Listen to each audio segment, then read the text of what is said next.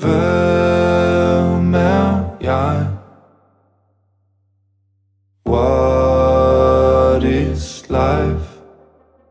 Jeg har ramt en krise kvartvejs Har du det ligesom mig? Lidt for god til dåseskjul Har ikke fundet mig selv endnu Big dream Low self-esteem. Du kan blive hvad du vil Eller det du er selv tillid til. Det er som om jeg ikke er glad. Håber glæden findes et sted. Jeg kunne bruge nogle råd Nogle nye aspekter. Så jeg snakker med mennesker Mens jeg er mellem projekter.